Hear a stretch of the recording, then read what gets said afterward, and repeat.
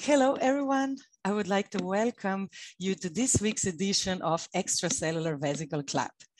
EV Club was developed by Ken, but has now grown into an event of the International Society for Extracellular Vesicles, that is ISEV.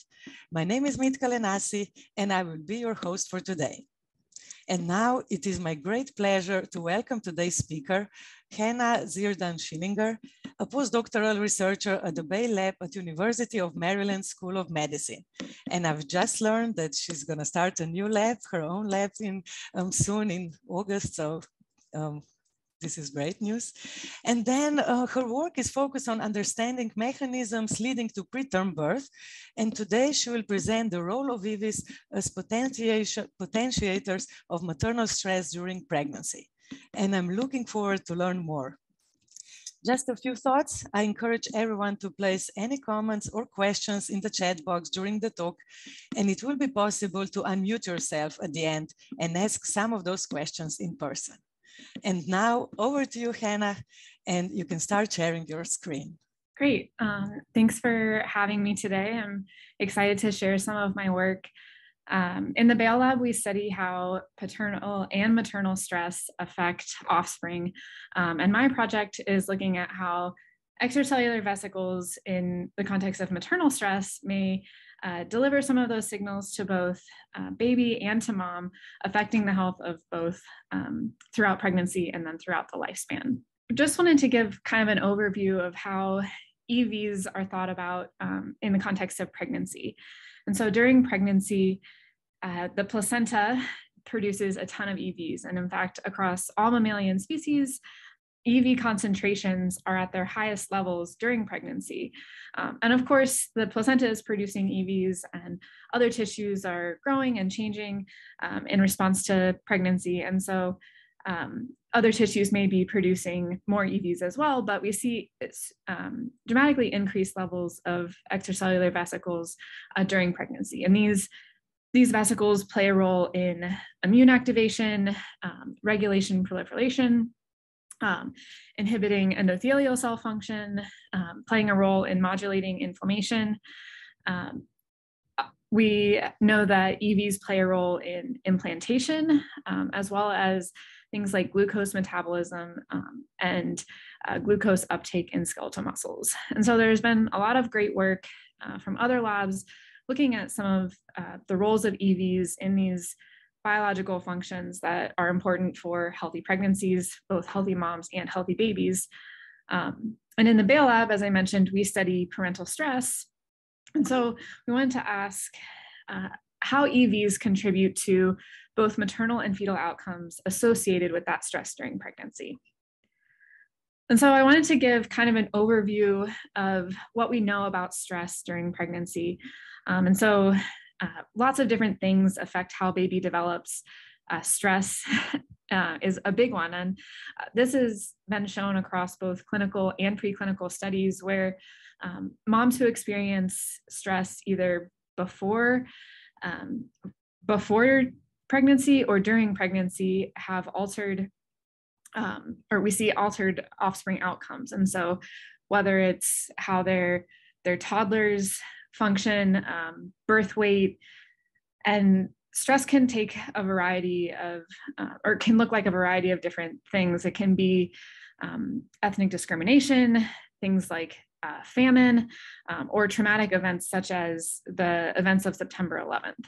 And so, um, obviously, these are all human studies. Um, in the Bail Lab, we use mice. And so, in our mouse model, um, we've demonstrated that mice during pregnancy who undergo stress during the first seven days, which can um, somewhat be corresponding to the first trimester um, in humans. So, mice that undergo stress during the first seven days of pregnancy, uh, their offspring have changes in uh, behavioral stress, changes in um, their HPA axis response, stress regulatory genes.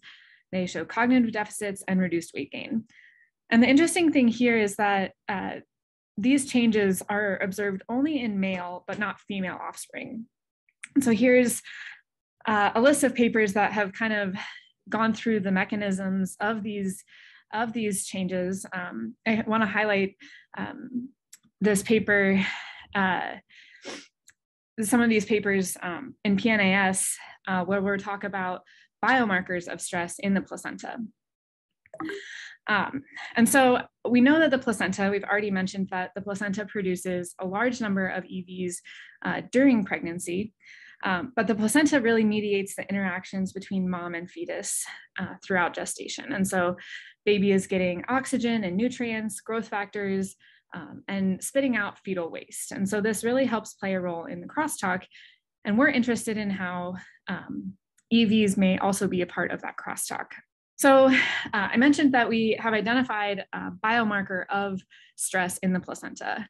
Um, so we looked at um, a variety of genes, both in female and male offspring, control or animals who um, were stressed during pregnancy. Um, and we observed that O-glycosyltransferase or OGT is a biomarker of stress. And so you can see here that the males um, and females both who um, were in a stressed environment during pregnancy, their placentas had decreased levels of OGT. Uh, so what is OGT?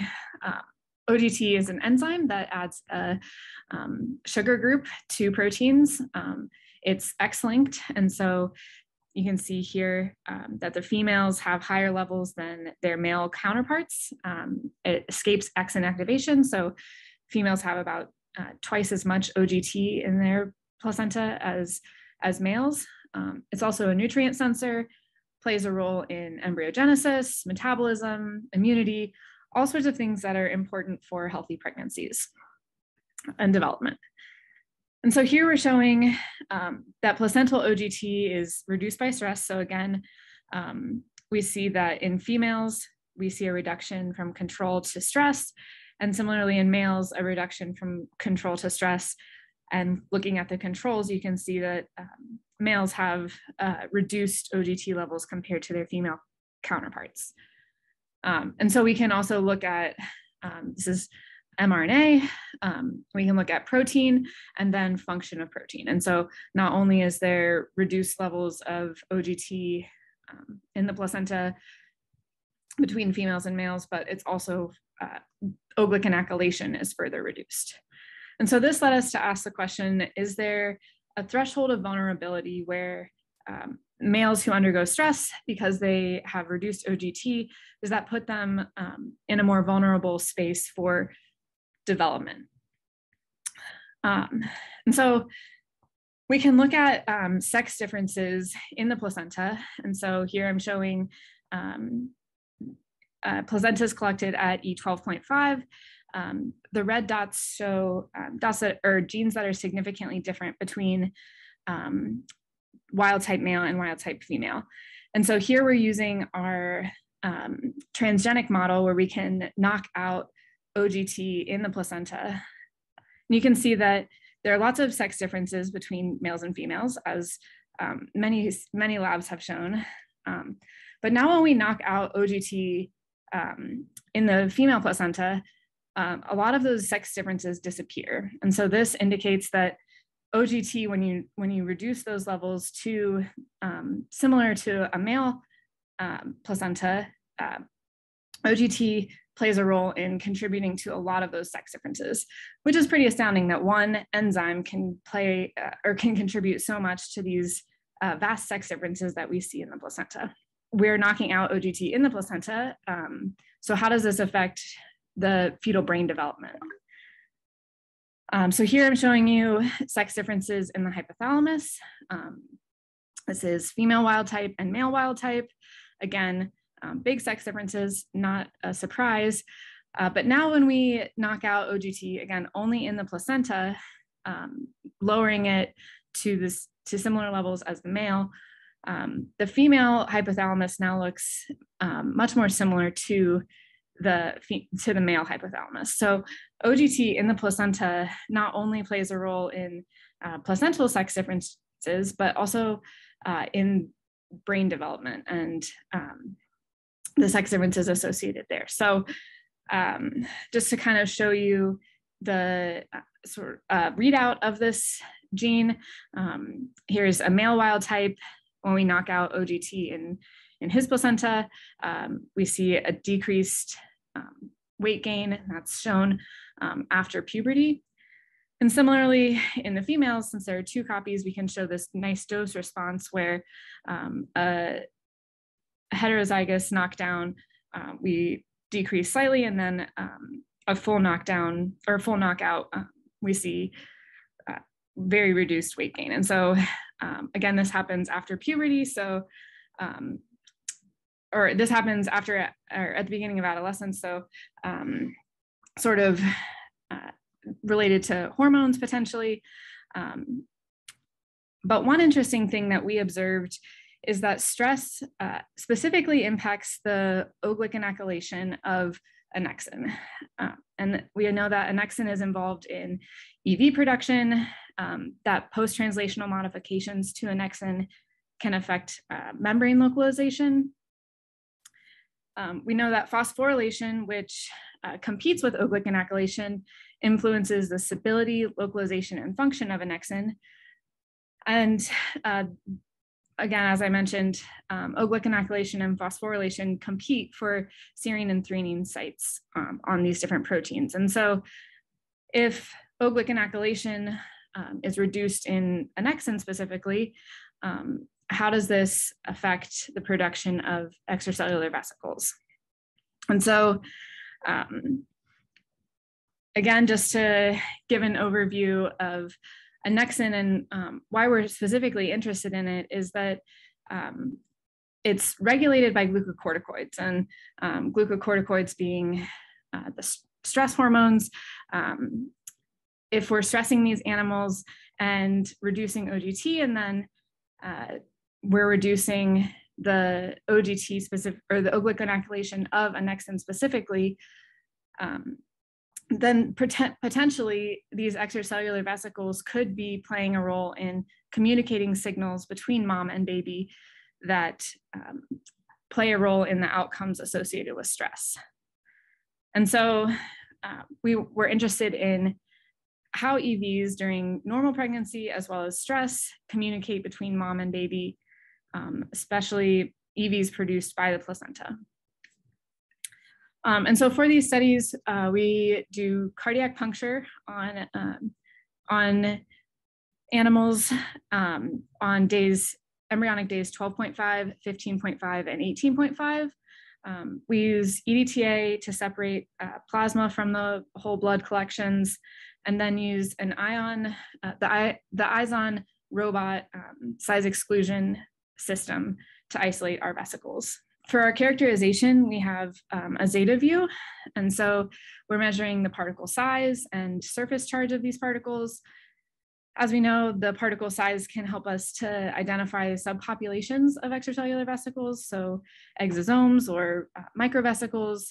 This gives us information on um, their biogenesis and may affect their endocytosis. Their surface charge um, also indicates their stability in vivo, um, can affect particle-particle interactions, uh, may reflect surface modifications, um, and influence their uptake um, into different uh, tissues throughout the body. Okay, so uh, the first thing that we did was look at how the concentration of vesicles changes throughout the course of pregnancy. And so in this histogram here, we have the size of the particles on the x-axis and the concentration on the y-axis. In black, we're showing non-pregnant animals.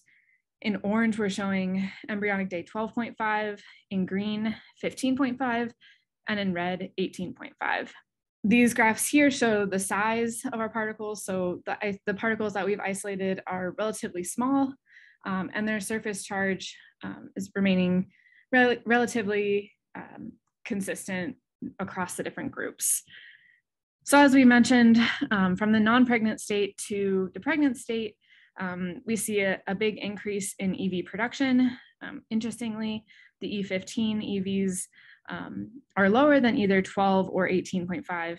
Um, and so I should mention that mouse pregnancy is about 19 days long. And so these 18.5 dams may have EVs that are being produced to get ready for get ready for labor and delivery.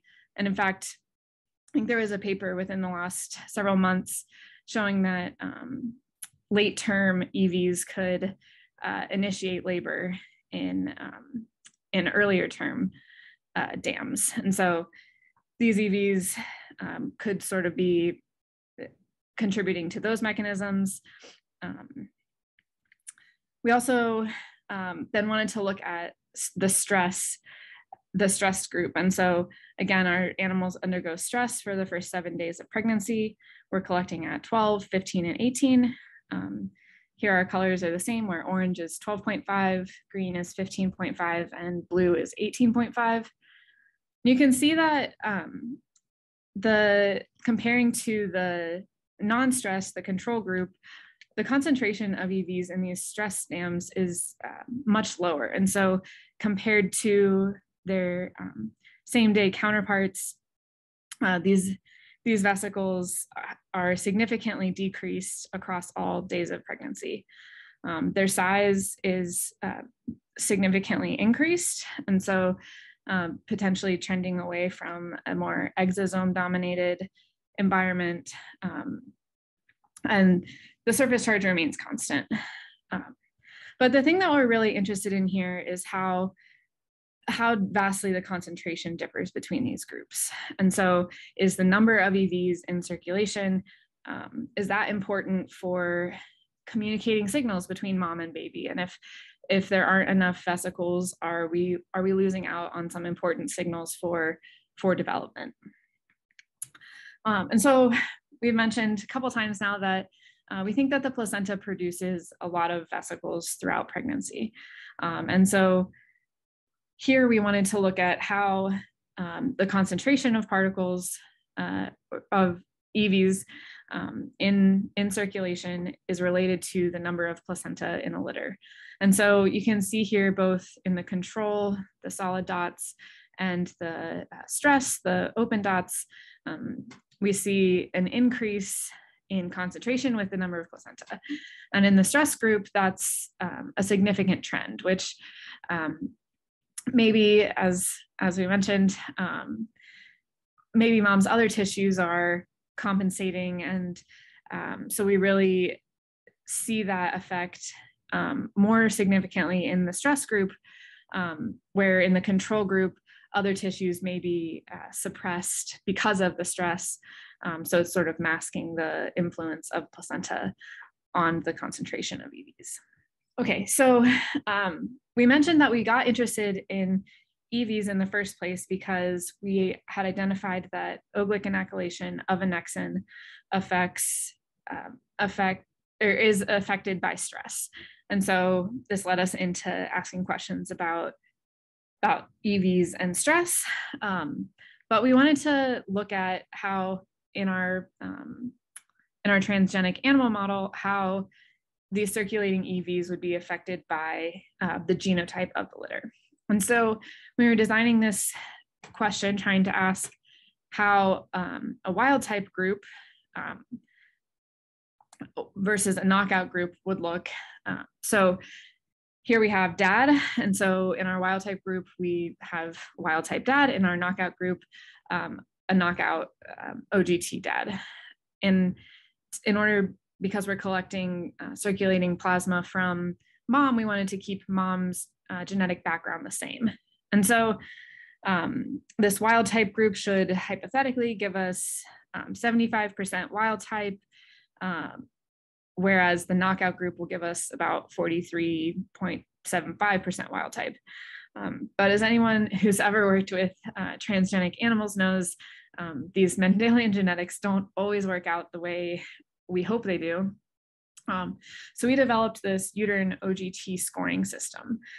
And in this system, uh, we give one point to a wild type female. She has uh, two copies of OGT.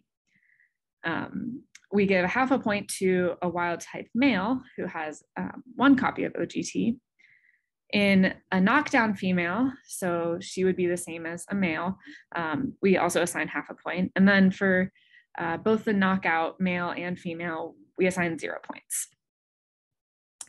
And so um, looking at the concentration of particles relative to the OGT score, um, we see the same thing that we've seen in the stress group where um, the concentration of particles significantly increases as as the OGT score increases. So the more OGT in the plus in the uterus, um, the the higher concentration of EVs. And this this trend holds true across the three different collection days. Um, and so remember, knocking out OGT is equivalent to or is representative of um, early or early pregnancy stress. During early pregnancy stress, uh, we see lower levels of EVs. And so we've shown the same thing here in our transgenic model where knocking out OGT lowers the concentration of particles that we see. Um, interestingly, we don't see a trend um, with OGT score and either size or surface charge. And so once again, this is indicating to us that maybe during pregnancy, there is sort of this threshold of vulnerability that a concentration really matters. Um, we've also looked at the concentration or the content of these EVs. And so this is going back to our EPS groups. Um, we see that um, stress alters extracellular vesicle protein cargo. And so animals who underwent stress, their EVs have fewer proteins related to um, immune function and more proteins related to metabolic processes. Um, we wanted to ask next um, where these EVs are going and um, are they getting into the fetal compartment? And so here we've uh, isolated EVs, labeled them with a lipophilic dye, and injected them back into uh, time pregnancy matched um, recipient dams. Um, 24 hours later, we looked at, we used an IVUS to look at the distribution of these EVs. And we see that these EVs are making it to the placenta, but not into the fetal compartment. And so um, we see the placentas here um, and the fetus here, and there aren't there aren't uh, significantly detectable levels of um, EVs in the fetal compartment. Um, and this holds true for uh, control to control, stress to stress, and the swap as well. And so uh, we know from uh, work, Yoel Sadovsky, um, who has done a lot of work on how EVs um, kind of cross talk to the placenta. There are tons of different cell types in the placenta. So how these EVs may be communicating with the placenta. Um, we also know that um, these EVs may be uh, communicating then um, to the placenta to communicate to mom. And so um, interested in how this affects fetal development, um, we performed an EV swap uh, once again, um, looking at taking EVs from either control or stress animals and injecting them into either stress or control moms. And then asking, um, do these EVs, which we know reach the placenta, do they alter the placental transcriptome? And so when we take control EVs um, and, or sorry, I'm sorry, when we take stress EVs and give them to control moms, uh, we see zero differences in uh, the GO terms of the female placentas. We also uh, see no differences in the GO terms of male placentas. Um, when we take control EVs and give them to stress moms, um, we see no changes in the female placentas, uh, but we do see uh, significant changes in um, the GO terms uh, associated with uh, protein targeting, mRNA catabolic processes, and immune response. And so thinking about this all together, uh, we know that males are uh, at a higher risk for stress associated um, developmental changes. And we know that um, moms who undergo stress have fewer circulating EVs. And so there's a potential here for a signal to be missing. And so when we give those EVs back into a stress mom, when we give those EVs back into a stress mom, um, we see that uh, we're able to change uh, the male placenta. And so some of our um, studies um, moving forward have been looking at how um, these might affect development um, and how these offspring um, may be changed as a result of these uh, EV changes. Um, but again, a decrease as associated with stress a change in the EV content, um, and then the swap that does alter um, the male stressed placenta. And so um, we showed you that uh, early stress during pregnancy affects male neurodevelopmental programming, that placental OGT is a biomarker of stress, and that we can recapitulate those stress phenotypes um, using a transgenic model, um, that both stress and placental OGT deletion decreases circulating EVs, um, that EVs target the placental barrier, um, and that EVs alter genes related to immune function in the male stress placenta. And so I think there really is a potential um, moving forward. We're excited about um, some of this data that EVs may potentiate maternal stress, um, especially its effects on the placenta, which we know affects fetal development. Um, but uh, an important question that we've been thinking about more is uh, what about mom? And so a lot of maternal fetal health uh, has really focuses on uh, fetal health. And even a lot of work, most of the work I showed you today um, is, is focused on fetal health. But mom plays a big role in pregnancy and um, the mom's health affects fetal health. And so one of the things that we're asking is because OGT is a nutrient sensor, how does how do these circulating EVs play a role in the energy balance that's required for pregnancy? How does it um, promote glucose metabolism or limit glucose metabolism? Um, and does that affect then um, the nutrients and energy source that uh, baby is seeing? And so um, moving forward, we're going to be looking more sort of at this maternal question um, and seeing how these placental EVs that are not only communicating with the placenta, but maybe communicating with mom's tissues as well, how they affect um, her health throughout gestation.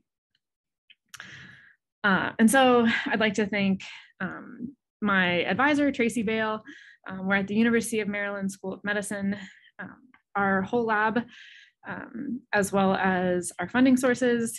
Um, and as was mentioned at the beginning, I'm starting my own lab at, in the chemical engineering department at uh, College Park in the fall. And so we're going to be asking questions not only about um, mammalian EVs during pregnancy and how they play a role in both maternal and fetal health, but also asking questions about um, bacteria derived vesicles and how we might be able to use those as therapeutics for um, maternal and fetal health.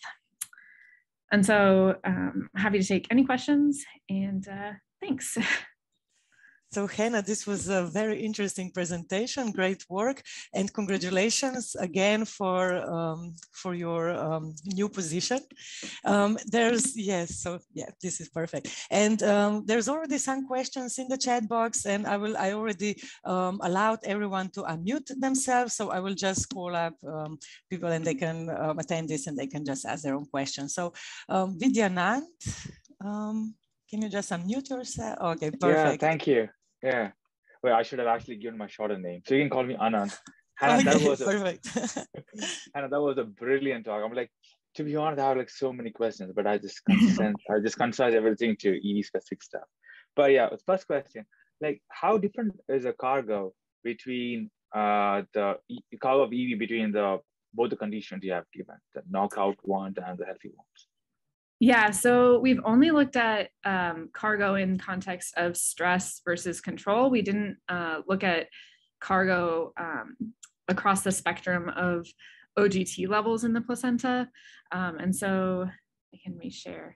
Um, there weren't, there honestly weren't a ton of differences um, in, there weren't a ton of differences um, in the protein cargo signatures um, between stress and um, control. And so red means that it's uh, down in stress and green means that it's up in stress. And so um, proteins that kind of shifted away from immune function towards more metabolic function.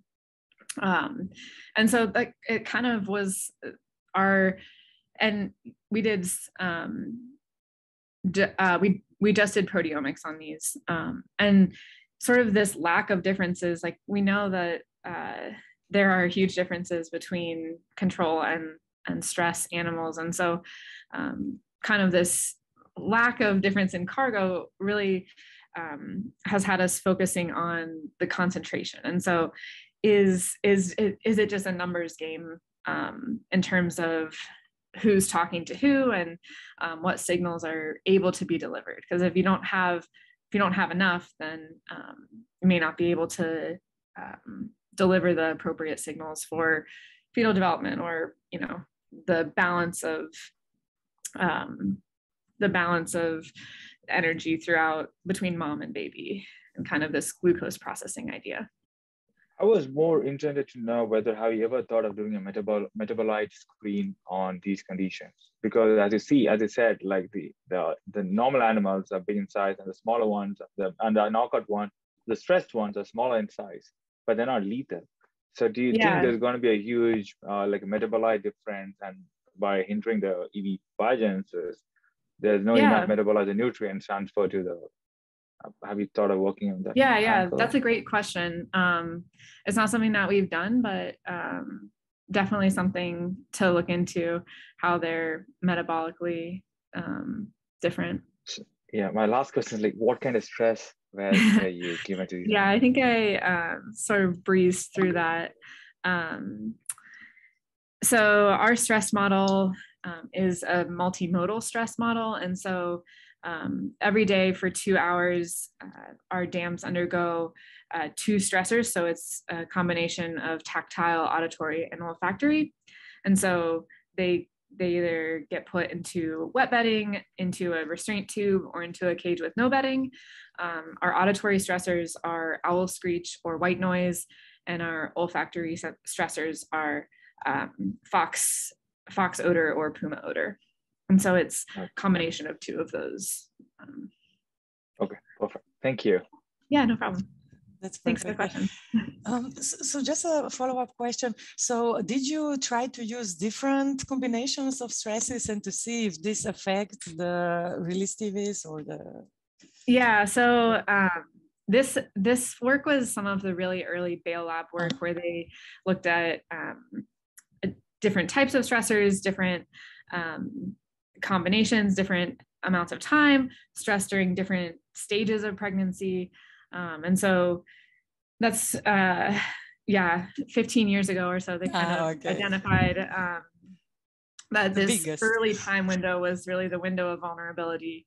Um, and uh, yeah, we have some work.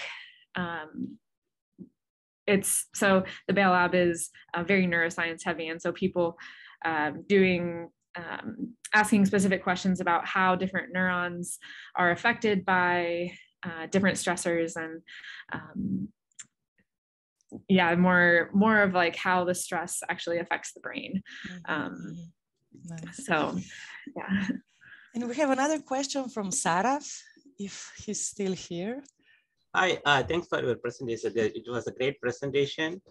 Uh, regarding for uh, pregnancy model of stress, uh, I have some clarification. Mm -hmm. basically, the stress um, also causes increase the blood pressure. Am I right? Um, so, did you measure any uh, blood pressure in your animal model? We haven't measured blood pressure here. No. Okay. Uh, then, but yeah, you're you're right that um, yeah, differences in blood pressure could be, you know, differences in shearing and then lead to differences. Especially in the pregnancy model.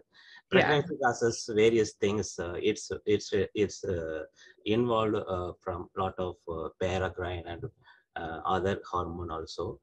So that's the main thing. The other question I have, uh, did you measure any placental EVs instead of uh, circulating EVs in pregnancy condition, especially this uh, stress? We haven't been able to, I know PLAP is a common marker um, for pregnancy EVs, but we've also been able to, at least the antibodies that we've tried, um, we've also been able to identify PLAP from non-pregnant uh, EVs. And so uh, we don't have any good tools right now um, working. We have some sort of uh, projects uh, in the works trying to develop, um, you know, uh, transgenic models so that you can specifically uh, see vesicles from specific cell types. Um, but yeah, we're not able to distinguish um, EVs that come from the placenta um, as opposed to any other tissues. It's kind of just uh, thought that the placenta produces a lot of EVs. Um, but as I mentioned at the beginning, you know, everything about mom is changing. And so it's likely that um, other tissues are also producing more, more vesicles as well. Yeah, that uh, uh, I have uh, one more the other questions. When you, I saw that your uh, stress model, how you collect the uh, EVs for different gestation age, like 12.5 and 15.5 uh, and 18.5. Mm-hmm. So how you get it? You get it from only the blood or the placenta or? Yeah, it's have where... any chance to uh, um, check the placental explant culture. Uh, you can also isolate EVs from the placental explant culture. That will give you the clear picture uh, where it's coming from EV right? Yeah, that's that's a that's a great point. Um, for right now, we've just been looking at circulating EVs. Um, I mean, everything has its sort of issues, right? And um, so, yeah, you're right that growing placentas in an explant culture, you know, you would isolate just the vesicles from that, but then you're okay, well, this placenta is no longer hooked up to mom and no longer hooked up to baby. And so a lot of different factors are changing. And so I think for um, the studies that we've done, uh, we're mostly just interested in, you know, what the what the in vivo um, condition is, and that would be great if we could identify specifically um, that these these EVs are coming from that these EVs are coming from the placenta. But um, like I said, we're just not there yet, so just kind of have to work with what we have in in this context. Okay, that's great. Thank you yeah, thanks. That was that was very interesting. So Danila, um, you're next. Hello. Hi. Hannah, very nice talk and interesting topic. Uh, my question was rather technical first one. So with NTA measurements, these were SEC fractions of uh, purified plasma, right? Yeah. So were you able to distinguish vesicles from lipoproteins in this case with some uh, fluorescent labeling, or was it just a general particle concentration increase? Yeah, it's just a general particle um, concentration. Mm-hmm. Um, so yeah, I think the columns that we use, um, I think, are pretty good at uh, eliminating lipoproteins. But yeah, you're right that um, we're probably getting other things than just mm-hmm. um, than just vesicles in our sample. And there was also these follow-up questions. Um, basically, do you do you see that, uh, or do you maybe expect that there is some uh, changes in lipoprotein status in if if you up or down regulate the OGT expression or you expose the the animals to to stress in, in, in general? Just yeah, that's a good question. Um, I guess the short answer is uh, that no, I don't know, um, but it's definitely something uh, to think about. And um, as we're writing this up, you know, thinking about how um, how yeah how lipoproteins may may change as a result of uh, different uh, post-translational modifications. And so, yeah. Thank, Thank you. you. Thank you for the points. Yeah.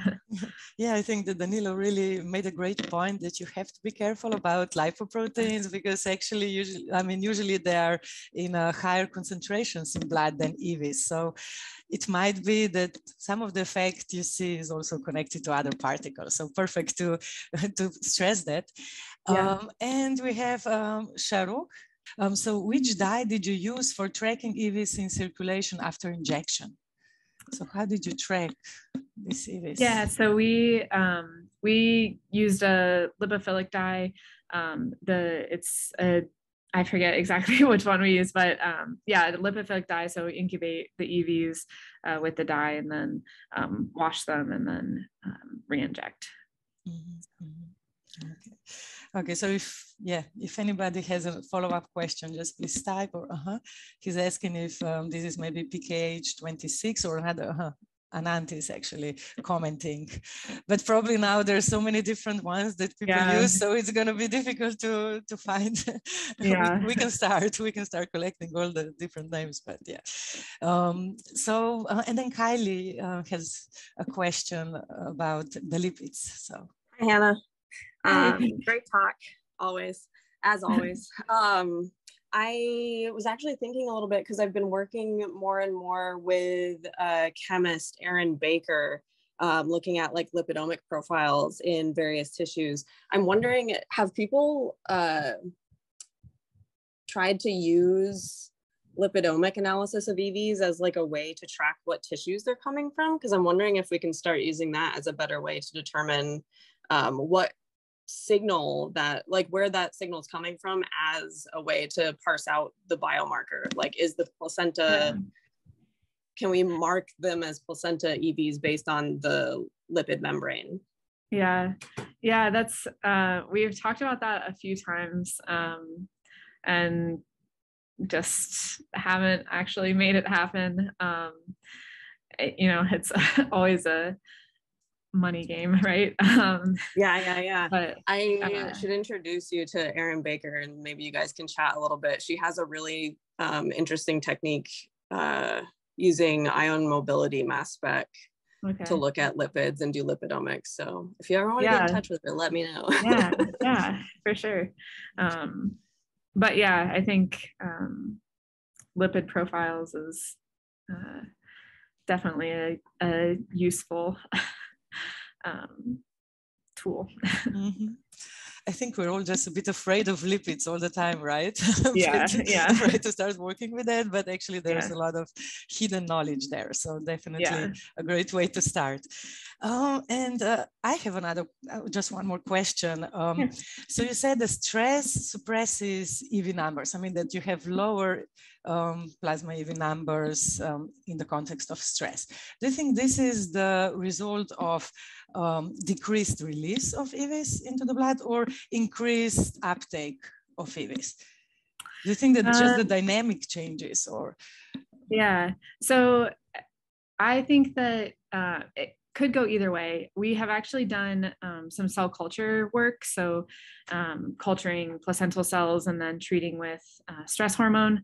Um, and in that, we also see a decrease of EVs. And so um, my my first response would probably be that it's a decrease of release. Um, mm-hmm. But but yeah, in it, an in vivo system is so different, right, than a than a plate um, of all of the same cell type. Yeah. Uh, so uh, could go either way. I, my guess would be a decrease in release, um, but um, yeah, it's you're right. It's a very dynamic system. And um, did you ever measure monocytes in blood of these um, mothers? Because I think that there's this uh, there were these papers published that the if you have more monocytes, they would um, take up more EV, so that they they change the. Yeah, yeah, that's uh, we we haven't um, we haven't measured um, any any sort of like cell profiles in the blood or anything like that. Um, but yeah, that would be interesting if um, if the you know immune profile mm. changes and mm. you know so perfect. So are there maybe any other questions from from anyone? Any last Can I ask question? one more? Yeah, sure. Go ahead. Yeah. So, uh, so Hannah, you spoke about annexin A1. Mm-hmm. I'd like to know whether can you do a conditional knockdown of annexin A1 in utero and look for a defect like what you're actually seeing in terms of stress? Yeah, we talked about that a few uh, a few months ago actually, um, and we couldn't find a commercially available mouse. Um, uh, but yeah, definitely, you know, kind of annexin plays a role in so many different things in metabolism and immunity and and so um, yeah this it kind of finding that O-GlcNAcylation of annexin was altered in in these stressed animals in the placenta is what kind of led us into EVs, but um, we haven't done um, a lot of work looking specifically at uh, annexin and sort of its its role Um, we just kind of use it as a kind of to lead us into the EV realm. So does uh, does the o, uh, OGT uh, knockout leads to any as a knock, yeah, knockout leads to any biogenesis related genes upregulation, downregulation, or perturbation? Um, not that not that I know of. Um, the paper, the first paper that was sort of describing OGT, they did um, microarrays um, in the placenta, and so um, they were looking for specific um, genes. And so, yeah, I, don't think that we have since done like a seq um, experiment that would give us a, a, bigger picture of if some sort of biogenesis was altered or something like that. But Perfect. That's a Thank you. yeah, lots of lots of great points, lots of good things to think about. So I really yeah, I think yeah, I think that you'll be busy, right? I mean, you should start your group really soon because there's a lot of things that you have to still do. uh, so yeah, so but thank you for taking your time and sharing your work. Um, it was very interesting and thank you. Yeah, um, yeah, yeah. So um, I would just also like to thank all the attendees to that have joined today, and please come back next week there'll be another topic, another interesting uh, discussion, and we'll see you in one week. So bye-bye, everyone. Thank you. Bye.